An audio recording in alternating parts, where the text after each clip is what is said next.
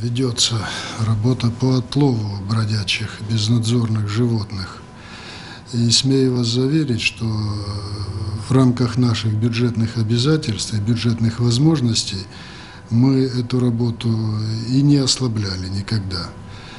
На любое заявление от жителей, даже если она поступила в нарушение правил каких-то, мы обязательно реагируем и обязательно э, посылаем туда специализированную группу.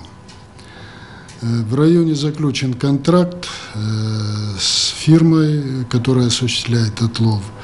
Но, естественно, как наши финансовые возможности, так и их технические возможности очень ограничены э, в силу определенных причин. Но отлов ведем. И отлов очень оперативно. Для того, чтобы решить эту проблему раз и навсегда, конечно, тут нужен комплексный подход. Прежде всего, это строительство питомника для животных.